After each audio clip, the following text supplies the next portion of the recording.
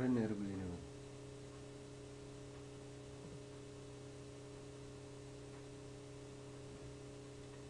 सोली बेला बेलनाको एक बेला पढाएको थियो त्यो फेरि गर्दा त्यो याद